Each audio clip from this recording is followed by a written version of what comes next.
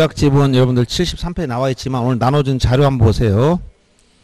등기가 유효하려면 어떤 요건을 갖춰야 되느냐. 오늘 3페이지를 보시면 간단하게 정리해 놨습니다. 이게 복잡하게 많이 써놔야 머리만 아픈 거고. 원래 간단한 걸 괜히 복잡하게 쓰는 사람은 뭔가 있어 보이려고 하는 사람이지. 그지? 간단하게 되는 걸 복잡하게 자꾸 할 필요가 없어.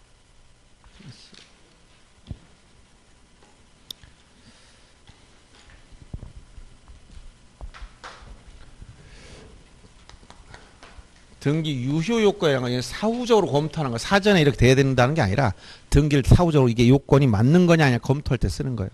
그래서 첫째가 형식적 유효권, 형식적 유효권을 갖춰야 된다. 형식적 외형상 요건을 갖춰야 돼. 그럼 이 등기가 유효다, 무효다라고 판단할 뭐가 있어야 돼? 이 등기가 유효냐 무효냐 알려면 뭐가 있어야 돼? 등기가 존재해야지. 아, 이 등기 이게 유효냐 무효냐 아무것도 없어. 그럼 유효냐 무효냐 돼? 안 되지. 등기가 존재해야 돼. 다시 한번. 자, 첫째, 유무를 판단할 첫째 뭐가? 등기가 존재해야 돼. 존재. 존재하고 있어야 돼. 문 닫, 뒤에 닫으시고. 그럼 등기 언제 존재하는 거야? 등기비에 등기상을 기록해야지. 그럼 등기상을 기록하는 건 무슨 요건이라고 했어? 등기는 효력 발생 요건이지. 효력 발생. 효력 발생 요건이다. 이 말이 중요한 거야. 이게 뭐냐? 등기 존재하고 있는데 누군가가 부적법하게 등기를 말소시켰거나 등기부가 파손됐어. 그럼 등기 없어진 겁니까? 예?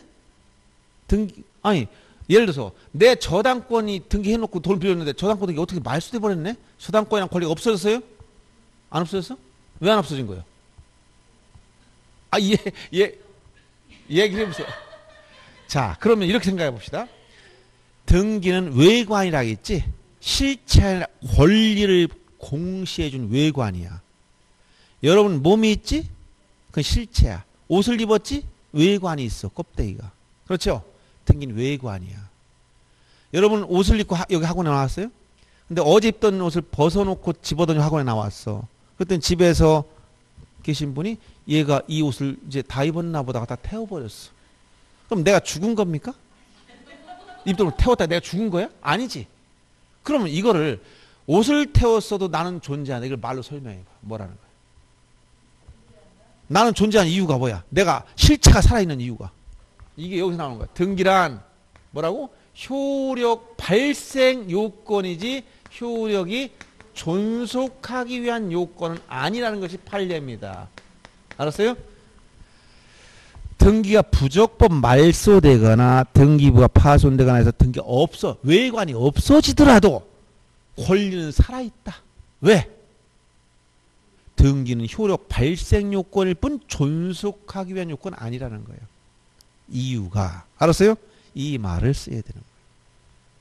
효력 발생 요건일 뿐 효력이 존속하기 위한 요건은 아니다. 그런데 한 걸음 제가 하나 더 비유하면 임대차 이런 민법 시간에 임대차 계약을 했어요.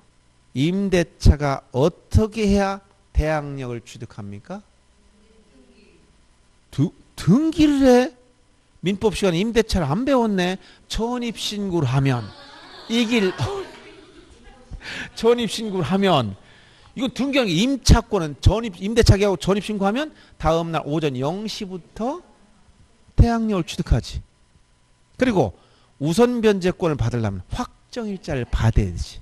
그러면 이 전입신고는 대항 요건이야 존속 요건이야? 그럼 만약 주소를 전입신고했다 다음 날 또 이사 또 나갔어. 대항력이 유지됩니까? 그럼 이 전입신고한 것은 존속 요건이야 효력 발생 요건이야? 존속 요건이기도 하지. 이게 전입신고 없어지면 효력이 상실되는데? 어, 조, 임대차 대항력 유지하기 위해서는 주소를 가지고 있어야 되는 거야. 근데 등기는 뭐라는 거야? 효력 발생 요건일 뿐 존속 요건은 아니라는 거야. 그러니까 누군가 등기를 부적법 말소했다고 하더라도 권리는 소멸했다 안 했다? 안 했다는 거야. 옷을 다시 사 입으면 되는 거야. 그러니까 뭐야? 말소가 잘못 말소 회복 등기하면 된다. 그럼 부적법 말소했다 해서 권리가 소멸했다 대사라는 게 아니고 나는 그냥 살아 있는 거니까 옷만 다시 입으면 되는 거예요. 알았어요?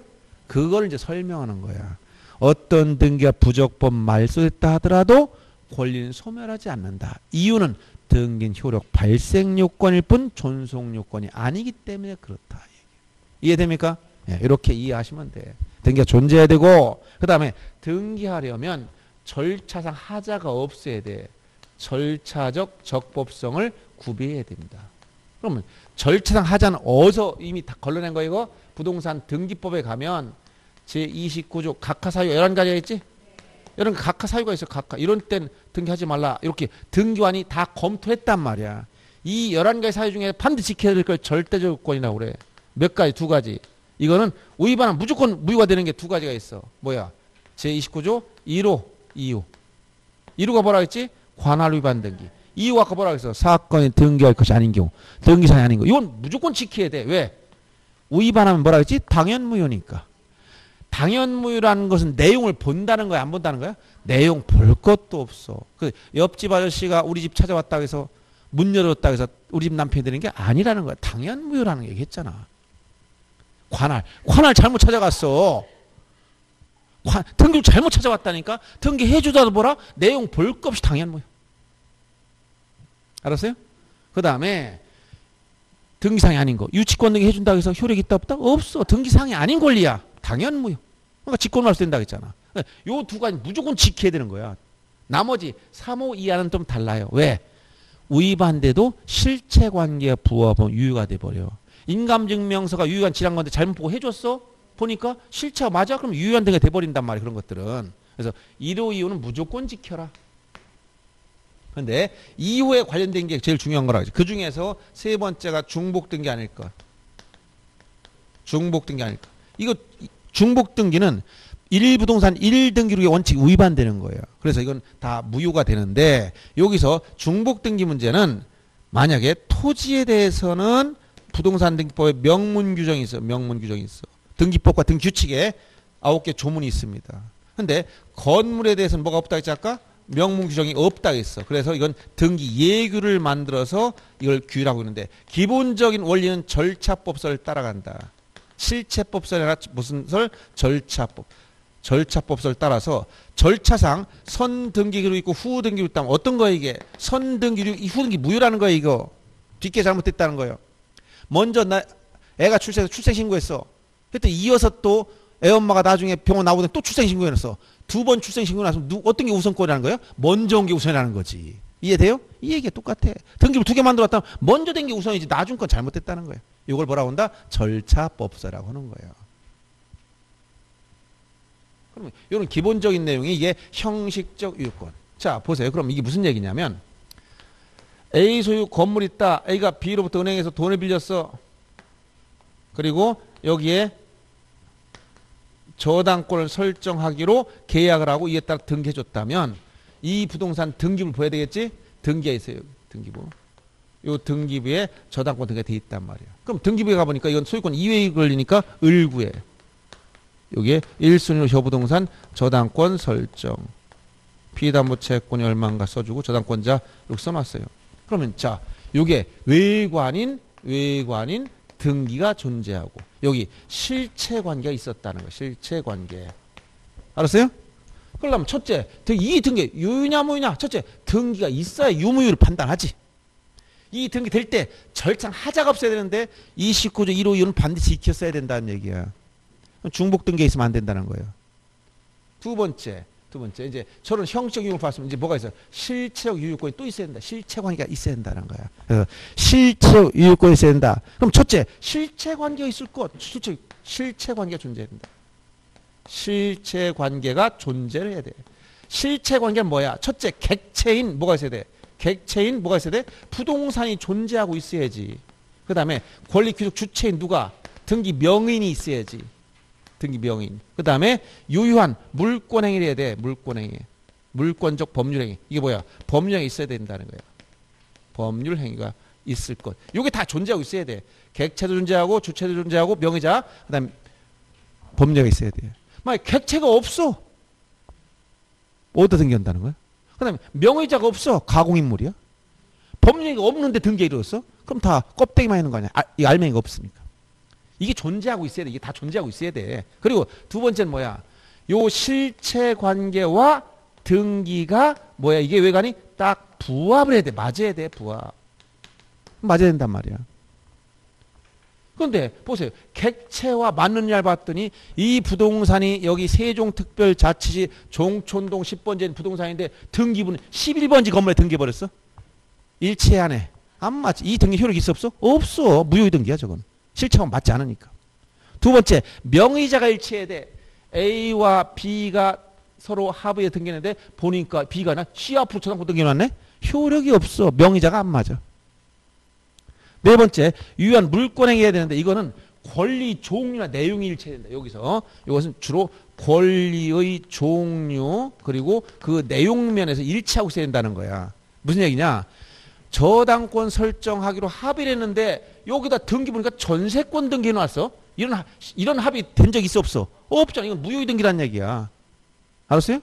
근데 여기까지 다 일치했어. 저당권까지 일치했는데 마지막으로 요 부합은 나머지 즉 여기 예, 부동산이 불일치한다. 객체가 안 맞는다든가 명의자가 안 맞는다든가 권리 종류 이렇게 객체가 불일치한다든가 주체인 등기 명인 주체인 등기 명의인이 안 맞는다든가 또는 권리 종류 권리 종류 이걸 질적 일치라고 그래. 이게 안 맞으면 다 무슨 등기다 무효의 등기야 무효의 등 무효의 등기가 돼버려요 그런데 요 권리 종류가 아니라 권리의 양이 안 맞을 때, 양, 불량, 양적, 즉 양적 불일치 문제. 양적 불일치는 어떠냐? 나머진 다 맞는데 양만 맞을 때 어떨 거냐 이런 얘기. 알았어요?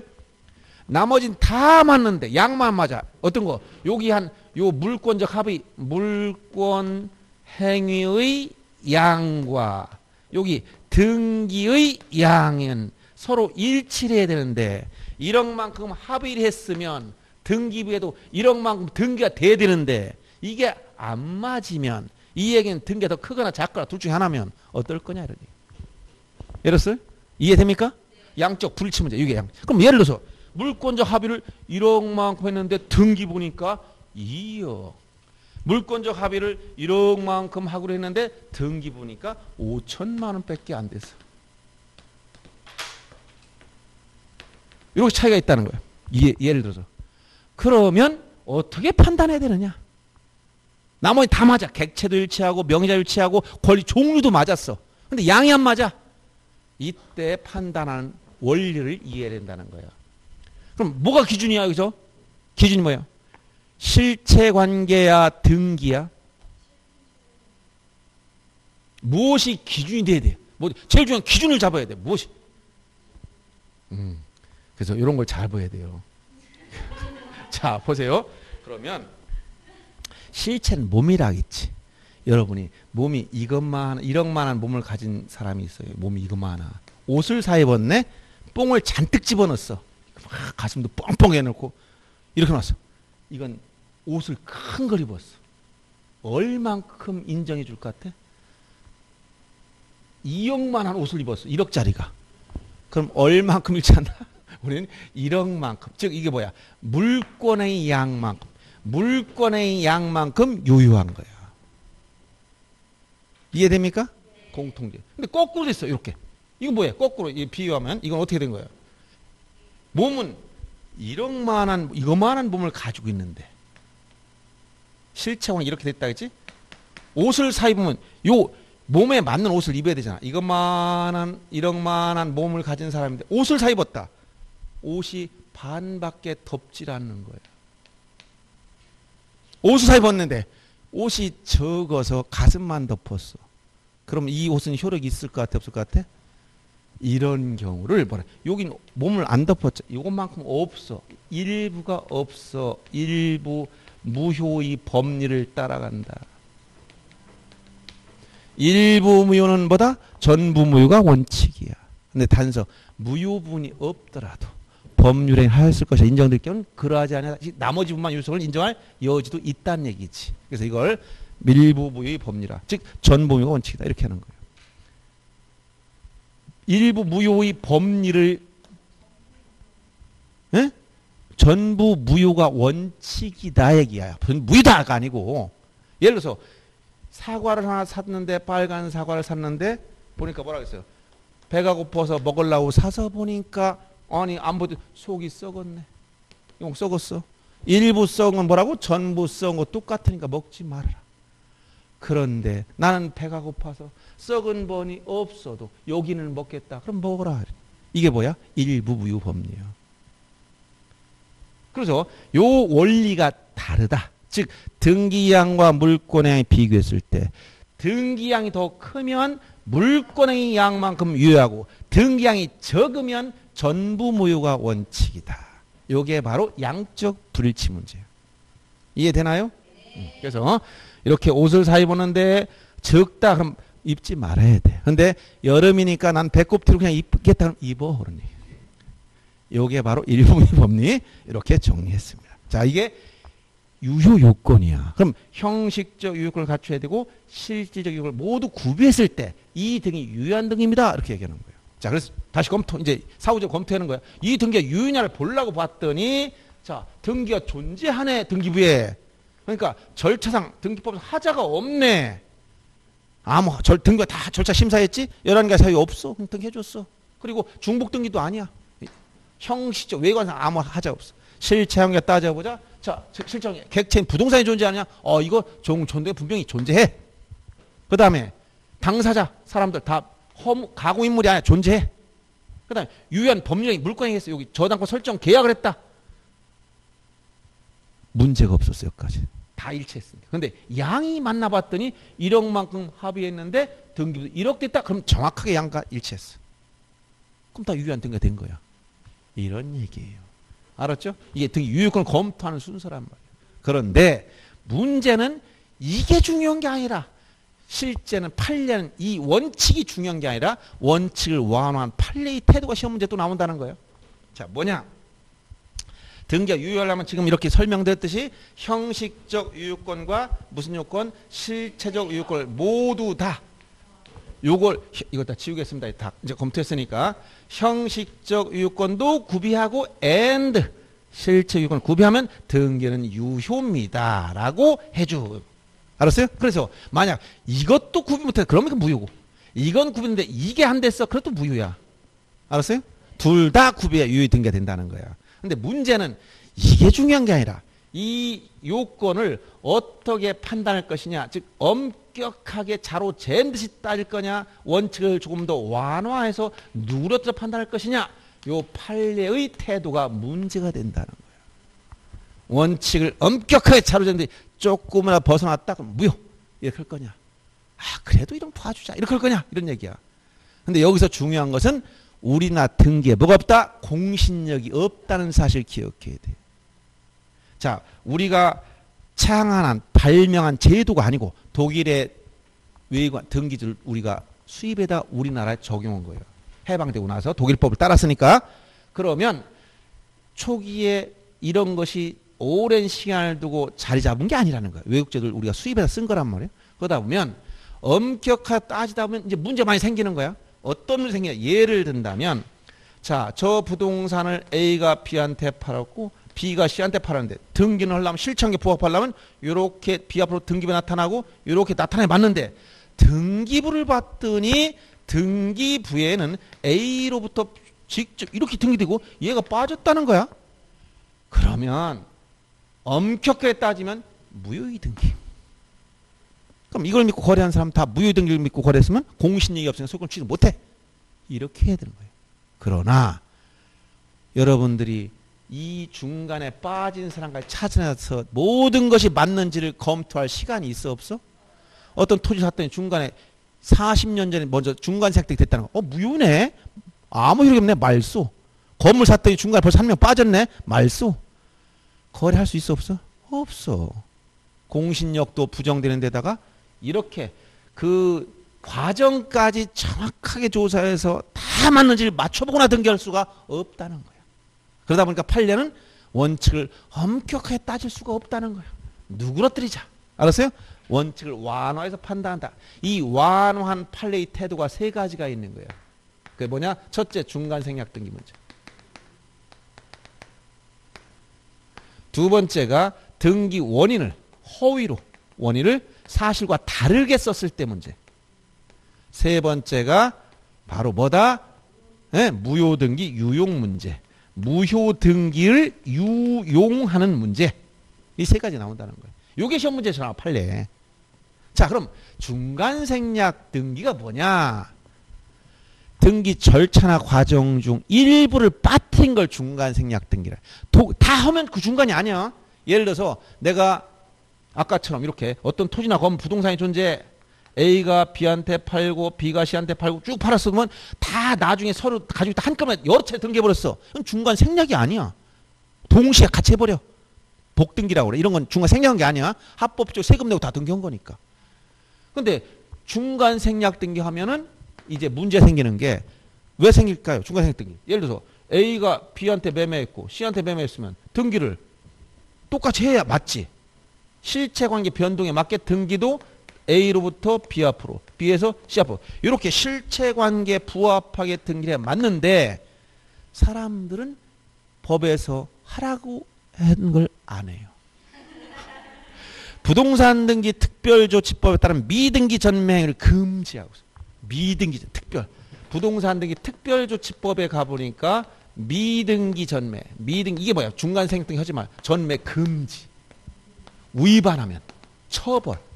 벌금이나 형사 처벌 받아요? 알았어요? 뭐 벌, 이거 암기할 필요 없어. 그냥 처벌 받는다. 그런데도 그런데도 만약 이렇게 하라고 하지 말라는데도 허도라는 그냥 빼고 허도라는 거야. 왜 할까요? 이익이 되니까 세금을 탈루하지 투기를 조장하지 한 번 건널 뛸 때마다 막 올라가지? 그러니까 투기가 생기는 그래서 금절하겠단 말 하지 마세요. 했는데도 해. 금지된 건 헐수록 재밌다 그래서 이렇게 하다 보니까 그럼 도대체 금지 규정은 이 금지 규정 특별조치법 이 규정은 허수아비냐 충청도 말로 핫바지냐 물어봤더니 핫바지다. 이걸 뭐라고 한다? 이걸 뭐라고 한다? 단순한 단속 규정입니다. 이런 단속 규정입니다. 효력 규정이 아닙니다. 이걸 핫바지다. 쉽게 얘기해서. 위반해도 위반된 등기 효력에 영향이 없다는 거예요. 다만 처벌은 받지. 등기 효력에 영향 안 미친다는 거예요. 그러면 판례가 이렇게 한 이유를 알겠어요? 이걸 무효화 시켜버리면 거래 질서 다 깨져버려. 여러분 지금 현재 등기 산다 한 반, 절반 이상이 다 무효화돼 버려. 믿, 믿을 게 없지. 어떻게 우리가 절차 태생적으로 보존이 했을 때부터 지금까지 하나도 거트리지 않고 하자 없이 된걸 어떻게 다 조사하란 말이에요. 그걸. 할 수가 없잖아. 그래서 어쩔 수 없이 원칙을 완화했다는 거예요. 이해됩니까? 네. 그런 단속 규정이기 때문에 위반된 등기 효력이 없어요. 근데 만약에 위반했어도 위반했어 잘못 보고 간과해서 등기해버렸다면 위반인데 등기해버렸어 미등기 금지는 등기했어. 그런데 이게 단속 규정이라 했으니까 뭐라고 표현하냐면 실체 관계와 부합을 하면 실체 요 말 많이 씁니다. 실체 관계 부합은 유효가 된다. 이런 얘기. 실체 관계 맞으면 다만 다만 주의할 게 있어. 어디? 토지거래 허가구역. 토지거래 허가구역. 여기서 이런 유동적 미유는 많이 배우지 허가구역 내에서는 이런 미등전매 중간 생략 등기에서 일체 다 금지시켜 놓고 무효가 돼 버립니다. 토지거래 허가구역이라는 말이 나오면 요건 효력 규정이야 한마디로 알았어요? 효력 규정이기 때문에 위반된 위반된 등기는 전부 다 뭐가 된다? 무효가 돼 버리고 실체 관계가 맞아도 무효야 여기는 허가 토지거래 허가구역 나오면 무조건 무효만 중간에 말 너무 길어 읽기 싫어 그럼 뒤에 무효. 이것만 찾으면 돼. 토지거래 허가 뒤에 무효. 이것만 찾아. 허가란 허가구역만 나오면 등기는 끝에 서술어가 효력이 없다. 이걸 찾으면 돼. 실체 관계 부합해도 효력이 없어. 그래서 이러한 중간 생략 등기에 대한 기본적인 태도가 이렇게 되는데 그럼 이 중간 생략 등기 중에는 유형이 여러 가지 있을 수 있잖아. 그래서 지금부터 보세요. 이렇게 유형이 있어요. 어떻게? 첫째 유형이 A가 B한테 팔고 B가 C한테 팔았다. 그런데 등기는 어떻게? A로부터 이게 중간 잘 빠뜨린 거 전형적인 유형. 두 번째는 어떤 게 있냐? A가 건물 신축했어. 신축하고 이걸 B한테 매매했는데 이거를 여기서 A 앞으로 보증 안 하고 여기서 직접 보존 등기했어. 이건 요 앞에 맨 앞에 생략했지? 요거를 이제 모두 생략 등기라고. 모두 생략 등기다. 여기 모두라는 것은 맨 앞머리 모자 할 때 모자야. 머리 도자.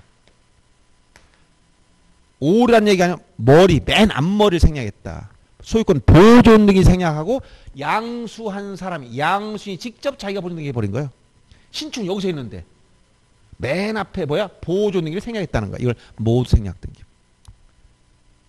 중간을 생략하나 앞머리를 생략하나 생략은 똑같다겠지. 우리가 앞머리가 빠지나 중간 머리가 빠지나 뒷머리는 똑같다고 얘기했잖아. 효과는 똑같아. 자, 아, 제가 괜히 머리 빠진 사람을 좀 모르는 게 아니라 저도 머리가 많이 빠져. 여기 좀. 근데 이해하기 위해서 기억에 남으라고 하는 소리예요. 그 다음에 세 번째는 이렇게 된 거야. 이게 법률 행위만 되는 게 아니라 A가 사망했다. B가 상속받았어. 이건 민법 187조에 따라 법률 규정에 따라 물권 변동이지 등기업 취득했어.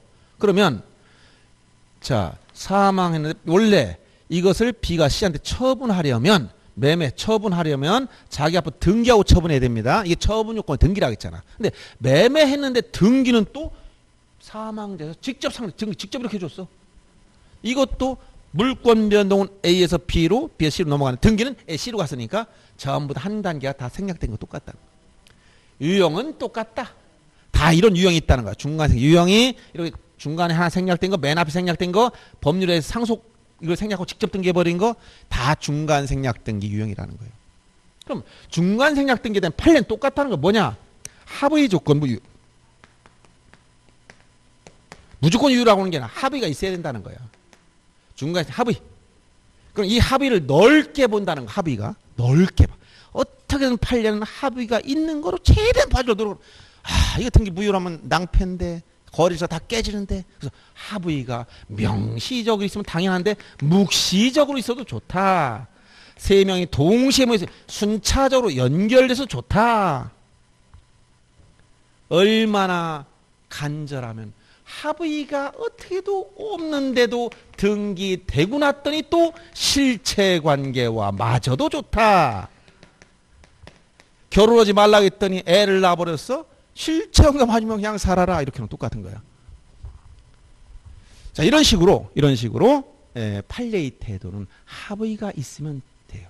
명시적만, 묵시적, 그 다음에 순차적, 어, 동시에 뿐만 아니라 어, 동시에 해도 되고 순차로 연결돼서 된다는 거야. 합의가 없어도 등기가 돼버렸다면 실체 관계와 부합은 유다. 이런 태도를 취하고 있어요. 그래서 이 판례의 태도를 이해하시면 되겠습니다.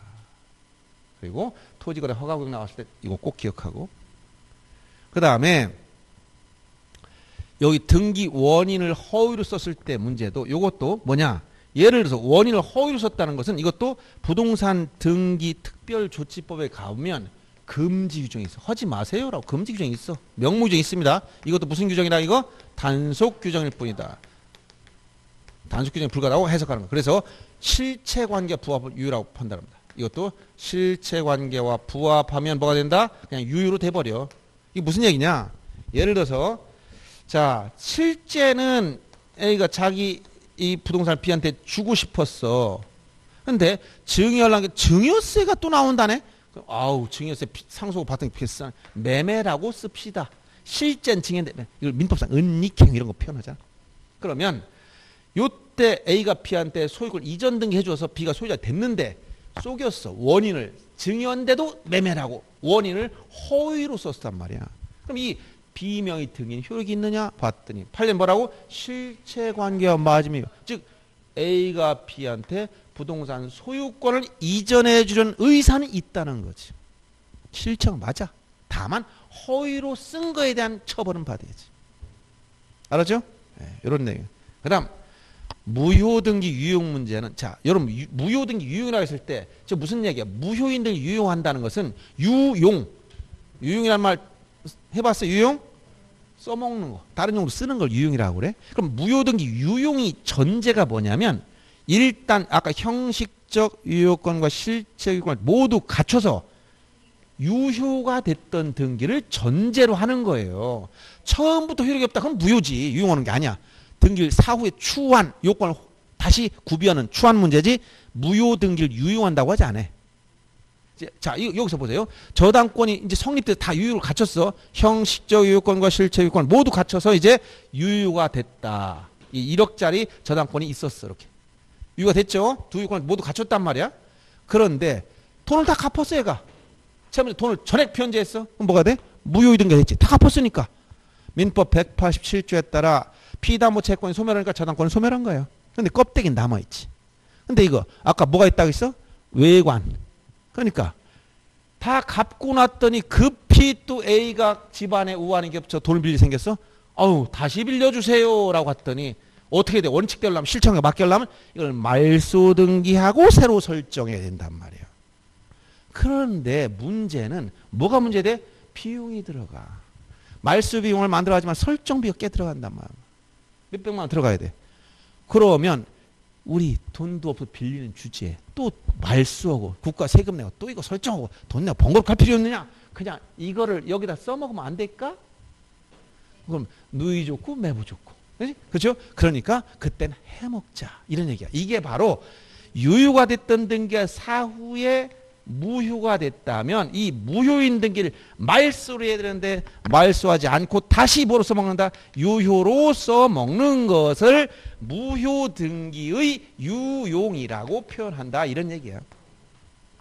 그런데 무효 등기 유용에 대해서는 등기부에서 이게 갑구나 을구, 갑구나 을구의 등기, 즉 이 권리 등기입니다. 여기에 대해서는 이것은 허용하되 이건 제한적으로 허용해. 등기상 이해관계는 없으면. 이해관계인이 없다면 유용을 할 수 있다. 이 얘기 이해관계 있으면 못한다는 거야. 예를 들어서 이 저당권 등기를 돈을 다 갚았는데 요 밑에 보니까 이순위 근저당권자가 있었어요. 이렇게. 근데 A, A가 돈을 갚았어. C는 어떻게 생각할까? 당연히 법률규정에 소멸한 거니까 순위 승진돼야 되는데 나중에 얘들 또 빌리면서 이거 살려놓게. 그럼 얘는 어떻게 돼? 침해 손해보잖아. 이런 경우 못한다는 거예요. 이해관계인이 존재하지 않으면 이해 등기상 이해관계 없는 상태 허용하되 이해관계인이 있으면 못하는 거예요. 이걸 보라고. 갑구나 을구의 등인 등기상 이해관계 없으면 유용하지만 있으면 안 된다는 얘기야. 그래서 요 표현할 갑구에 는 게 대표적인 뭐냐 담보가 등기가 갑구에 들어가 담보가 등기. 그다음 을구에 뭐야 저당권이나 근저당권 등기 같은 거. 이런 것들은 이해관계는 없다는 조건에서 이용을 허용합니다. 근데 표제부는 어떠냐? 표제부. 표제부. 사실은 표제부. 이게 무슨 얘기냐면 자 A가 건물 신축했어. 신축. 신축했으면 무슨 등기랄까 A는? 소유권 보존 등기. 소유권 보존 등기를 하는 겁니다. 자 멋있는 여기다 전원주택을 다 캐나다에서 원목을 수입해다가 요새 뭐 나무 존나무 많지? 탁 전화왔어. 오늘 등기한 기념으로 내 친구들 다 모아 집에서 바베큐 파티하고 재밌게 놀겠다. 다 엄청나게 멋있게 아주 잔치를 했어. 술도 먹고 먹다가 풀나서 홀딱 타버렸네. 그, 그래서 바로 직전에 설계도면이 있길래 거기 다시 줬다는 그대로 신축 다시 줬어. 그럼 요 보존 등기를 신축 건물에 유용할 수가 있느냐 이걸 물어본 거야. 이거는 안 된다. 왜 안 되냐? 동일성이 없다. 물건이 바뀌어 있는 거예요. 부동산이 없어진 탄 물건과 새로 진 물건 다 물건이 바뀌었다는 거예요. 그럼 보세요. 하얀 건물과 노란 건물 다른 거지? 예. 네. 뭐 동일성이 없어. 유용할 수. 이건 언제 이런 내용이 나왔냐면 옛날에 이런 판례가 있었어요. A가 만약에 은행에 돈을 빌리고 저당권을 설정했었다. 근데 중간에 짐이 불탔었다는 거야. 농가주택이. 농협 돈 빌렸었는데 그래서 자 비저당권자가 하도 오랫동안 뭐 계속 농가주택 농촌에는 그, 저 농협이나 이런 데는 계속 그냥 장기적으로 대출해 주잖아요. 근데 어느 날 갑자기 돈을 안 갚는 거왜 그러냐 봤더니 아 바로 뭐, 뭐 축산 농가가 막 축산이 잘 되다가 어느 세월 한 10년 이상 잘 됐는데 망했다는 거예요. 그래가지고 그럼 아 나 돈 받아야 되는데 경매 집어넣었어 경매. 경매 넣어가지고 제3자 가봐서 낙찰 받아가지고 이 A한테 명도 집 내놔라. 내가 경매 받았으니까 갔더니 A가 당신 누구야? 나 경매 받은 사람이야. 왜 왔어? 했더니 이거 경매로 진행되는데 A가 아 이거 옛날 건물 타버리고 다시 진 건데 했더니 법원에서 뭐라는 거야? 어 그래 그럼 이거 법리에 문제 생겼다는 거야. 건물이 멸실됐으면 소유권 어디 갔습니까? 소멸한 거지. 그냥 소멸한 거야. 신축해서 새로 생겼지? 그러면 종전에 멸실되기 종전에 있던 저당권에 의해서 경매 기 들어가면 이건 맞다 틀다 잘못된 거지. 자체가 잘못된 거라. 그래서 이 부동산에서 신축 건물의 종전 등기부를 유용하는 걸 허용되지 않는다. 즉 멸실 건물의 등기부를 신축 건물에 유용할 수는 없다. 이건 이해관계 유물 딱 일치 안 되는 거야. 일치 안 되는 거예요. 알았어요? 그래서 표제부의 등기 이걸 다른 말로 하면 표제부는 건물 멸실 등기를 표제를 하기 때문에 그래요. 멸실 건물의 등기부 유용은 일체 허용되지 않는다. 이해관계 유물 떠나서 일체 안 된다. 여기까지 하면 끝난 거예요. 알았어요? 나오는 문제 다 이 정도입니다. 그래서 거기 딱 제가 정리해 준 거 이제 다 내용 들어왔습니까? 그 다음에 하나 얘기하는 건 등기청구권의 행사 문제를 얘기한 건데 이건 뭐냐? 아까 합의가 있으면 직접 청구하고 합의가 없으면 중간자를 대위 행사를 이게 뭐냐? A가 B한테 팔고 C한테 팔았어. 근데 중간 상태 합의가 있다면 그냥 직접 얘가 직접 청구할 수 있다는 합의가 있다면 합의가 없으면 얘를 대신해야 되기 때문에 대위 행사한다는 것은 중간 상태를 못 한다는 얘기예요. 요 말을 알아두시면 되겠고요. 그래서 지금 에, 고까지 해서 등기 유효권을 받고 유효권은 실제 에, 시험에서 여러 차례 많이 나왔습니다. 여러 차례. 그래서 오늘 마지막 문제 하나 더 보고 끝납니다. 2페이지 하단에 5번 문제 보세요. 등기에 관한 설명 틀린 걸 찾아라 26회기 출문제입니다. 자, 1번 문제 지문 봅니다. 등기원을 실제와 다르게 증여를 매매로. 원을 허위로 썼지? 뭐라 했어요? 실체관계 부합하면 유일하겠지.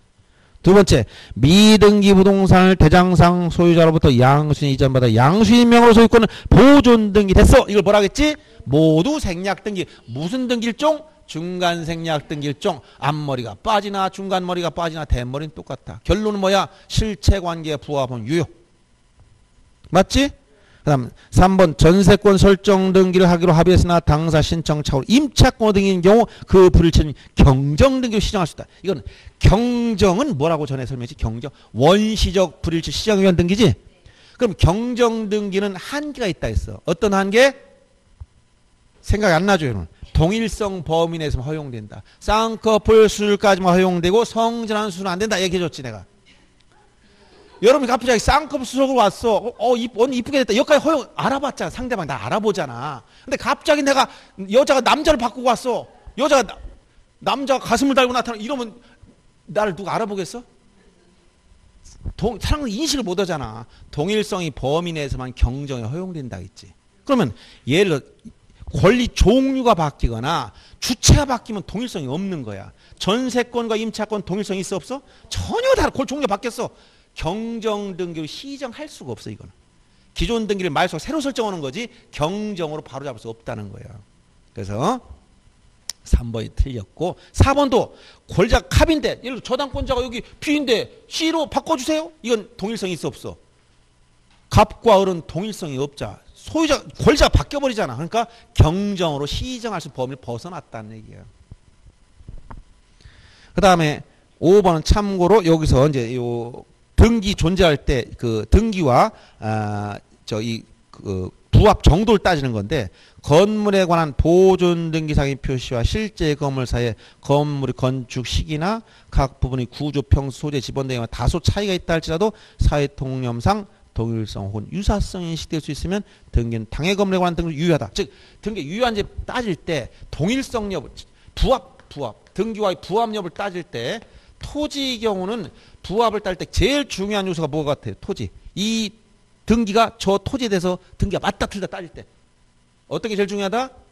토지는 토지는 뭘 가지고 동일성을 따져? 부합정 딸 때 소재 지번이 제일 중요한 거야. 소재 지번이 바뀌면 물건이 같아요, 달라요? 그렇지. 왜? 1 토지 한 필장 지번 몇 개 있어? 한 개. 종촌동 10번이 토지와 11번이 토지는 같은 거야, 다른 거야? 다른 거야. 지번이 바뀌어 버리면 소재 지번 바뀌면 동일성이 없어. 그래서 제일 중요한 건 소재 지번 가지고 부합을 따지는데 건물은 안 그렇다는 거야. 판례는 건물은 소재 지번 이것만 가지고 따지는 게 아니라 비록 소재 지번 지번이 차이가 있더라도 여기 제일, 제일 중요한 게 사회 통념상 사회 통념상 동일성 내지 유사성을 인식할 수 있느냐 이걸 가지고 부합적으로 따지겠다는 판례 얘기예요. 알았죠? 그래서 이런 기출 문제를 참고로 보시면서 지금 여러분이 에, 아, 앞에서 좀 안 했던 오늘 등기 유효 요건을 주로 판단했습니다. 그래서 오늘 나눠준 프린트물 3페이지에 나온 그 유효권의 핵심 줄거리 등기 유효하기 위해선 형식적 유효권과 실체적 유효권을 모두 구비해야 되더라. 근데 실제 시험 문제 어디서 많이 나온다? 이 유효권을 완화한 판례의 태도에서 시험이 많이 나오더라. 그 첫째가 뭐다? 중간 생략 등기 문제. 두 번째가 뭐다? 등기권을 허위로 기록했을 때 문제. 세 번째가 무효 등기 유용 문제다. 이런 얘기야. 이세 가지 항목을 테마를 정리해 준 겁니다. 중간 생략 등기에 대해서는 뭐라고 표현했었지? 자, 합의가 있으면 유효성을 인정해 주겠다. 합의가 없어도 실체 관계 부합은 유효하고 금지 규정은 단속 규정에 불과하다. 토지 거래 허가 구역 내선 합의가 있어도 무효입니다. 알았어요? 실체 관계 부합해도 무효입니다. 토지 거래 허가라면 무조건 무효만 찾으면 돼요. 그 다음에 등기 청구권은 합의가 있으면 직접 청구하면 되고 합의가 없으면 중간자를 대위행사해야 된다. 등기권을 허위로 썼을 때 실체 관계 부합은 유효를 찾아가며 무효 등 유용에 대해서 갑군 알고 즉 저당권이나 담보가 등기 같은 등기는 이해관계인 없다면 유용할 수 있다. 근데 표제부의 등기 즉 멸실 건물 등기분 유용할 수가 없다. 이렇게 정리하면 끝난 거예요. 더 이상 나올 게 없습니다. 아시겠죠? 예. 자, 오늘 공부한 내용 집에 가서 복습 꼭 하시되 집에 가서 어려면 여기서 한 1시간이나 30분이나 딱 보고 그냥 가시면 됩니다. 나머지 시간은 1차 공부하세요. 그냥. 아세요? 자, 수고하셨습니다. 예.